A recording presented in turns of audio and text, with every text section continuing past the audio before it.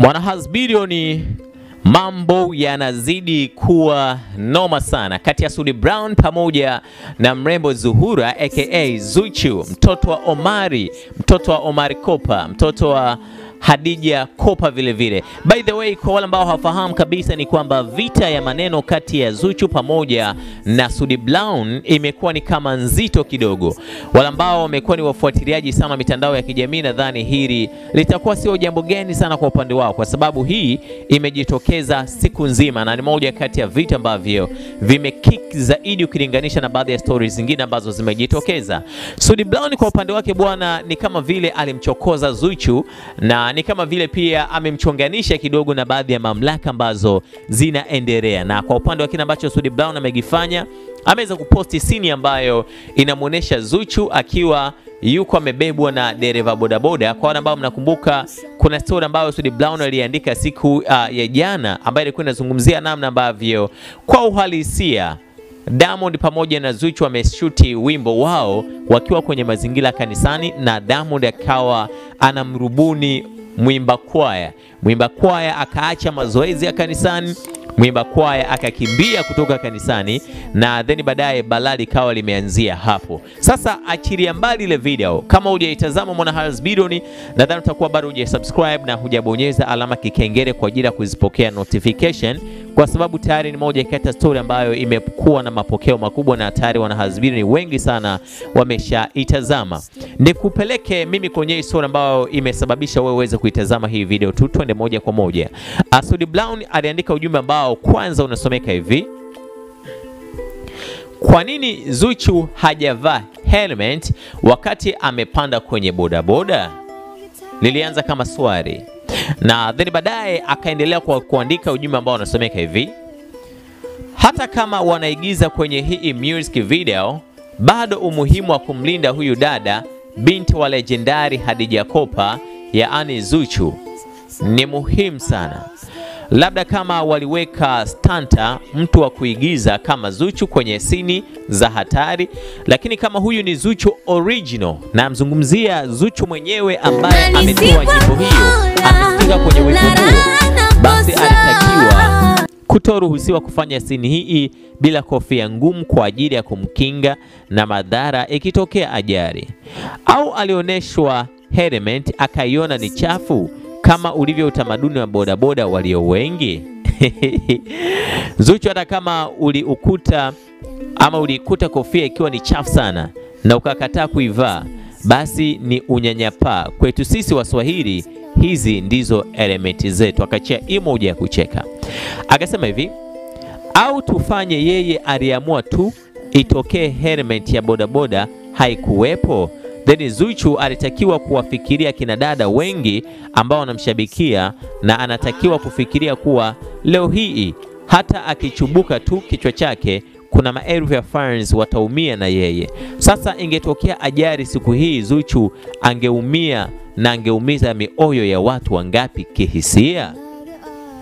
Kingine cha muhimu ambacho Zuchu alitakiwa kifikirie kabla ya kuigiza sini hiyo, akumbuke kuwa yeye ni role model wa kundi kubwa la vijana.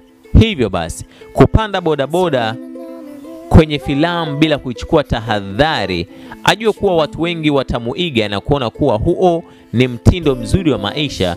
Kumbe huo ni uvunjifu wa sheria, na inapofanywa nje ya uigizaji, Diamond naye pia hamwonei huruma pisikari kama Zuchu.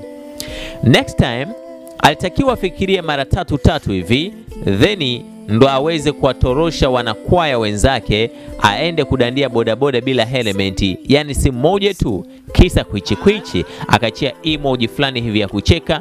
Nadhani mimi ningesema sina budi pia kumsogezea mwana Harris Bidon hii story aweze kujua ni nini ambacho kinaendelea kati ya Zuchu pamoja na Sude Brown.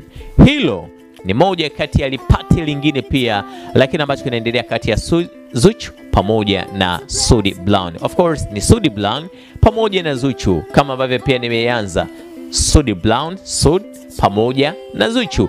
Yapi ni maoni yako by the way kwenye hiki ambacho amekiandika Sudi Brown? Unahisi ugomvi wa Sudi Brown pamoja na Zuchu unasababishwa na nini? Niambia kwa njia comment. Mimi kazi yangu ni kuache pia uendelee na hii exclusive interview. amemfanyia. Wewe unadhani kwa Harmonize ni sahihi kuanza kumtupia maneno Diamond na alikuwa mtu wake wa karibu sana? Mchokozi nani? Kwa sababu huwa naangalia sana, wanahabari ni watetezi wakubwa sana kwenye aliyeanzisha, mpendi kumtamka, mnamkwepa, mnafuata mtu anayekuja kujibu. Aliyemwanza mwenzie ni nani? Ongea fact sasa wewe mwenyewe, alafu leo kabadilishe mada. Aliyemwanza mwenzie nani? Aliyesema mwenzie anatumia miadarati ni nani? Lakini Diamond Nenda kwenye fakti, uondoe utimu, yani nyosha maelezo. Aliyesema mwenzie anatumia miadarati ni nani? Jibu tu, yani, yani usizunguke, we jibu tu. Nani mwanzilishi? Diamond aliposti kwenye Instagram. Ah, ah, no, jibu mwanzilishi nani? Nenda point, sikaposti si ni yeye. hatujaona mtu. kwa jina lolote. Oh, brother, ukimwataki mtu, sisi wote ni watu wazima. Yeye ndo kalianzisha, acha alimalize. Bwana mdogo kakaa, eh, hebu nikwambie, heshima ipi mnataka? Amekaa na kile kitu ni muda gani? Heshima gani mnataka? Master J kaongea ukweli, watu wamemchukia. Ule ndio ukweli. Usiseme nimemsaidia mtu, sema tumefanya biashara. Neno kusaidiana halipo tena, ile ni biashara. Bwana mdogo kaongea ukweli kutoka moyoni kwamba brother, ulikofikia umenikosea, sababu yeye ndio kaanza kuandika. Unamwandika mwenzio, unategemea kitu gani? Ya kwake mangapi sisi tunayo sasa na tumekaa kimya. Usivuke hatua ya heshima yako, watu wanakuheshimu. Yule bwana mdogo mpaka leo bado anamheshimu, anatakiwa na yeye amheshimu kwa level alofikia Harmonize sasa hivi. Hata yeye mwenyewe anatakiwa amheshimu Harmonize. Ndio maana hata sisi wenyewe tulivyokuwa tulikuwa tunaheshimika, tukafikia hatua na sisi tukawa tunamheshimu yeye, na yeye anatakiwa aheshimu wengine, sio kudharau. Hakuna mkubwa zaidi ya Mungu. Usije kujiona wewe umemaliza, hujamaliza bado. Unachokijua wewe sicho, sio mengine unayajua tena. Harmonize kaongea ukweli, na pale bado hajaongea kumaliza, kaongea kidogo tu. Bwana mdogo kaongea kidogo Kuna vitu baadhi bado hajamaliza. hivyo nikuulize kitu. Kuna mtu akienda kwenye msiba anarudi anaombwa pesa? Sasa Harmonize anaenda kwenye msiba wa bosi ambaye ni bosi wa wasanii wengi, bosi Ruge ambaye sisi tunamheshimu, kachongea barabara. Leo watu tunaishi kwa sababu ya bosi Ruge, unakuja kumchaji mtu milioni kumi. Kwa hiyo mtu asihudhurie kwenye msiba. Nyewe mnachekelea hivi vitu, mnachekelea afu mkikaa mnaanza kusema oh, kuna watu wanaharibu sana sana, mnaiharibu nyinyi wenyewe sababu hamtaki kuongea ukweli. Kuna mambo yanaendelea sio mazuri, kuweni wa kweli, ondoeni utimu, zungumzeni, msikae kimya, Mnaugua mnaua kusubscribe, kulike na kucomment. HBTV, HBTV.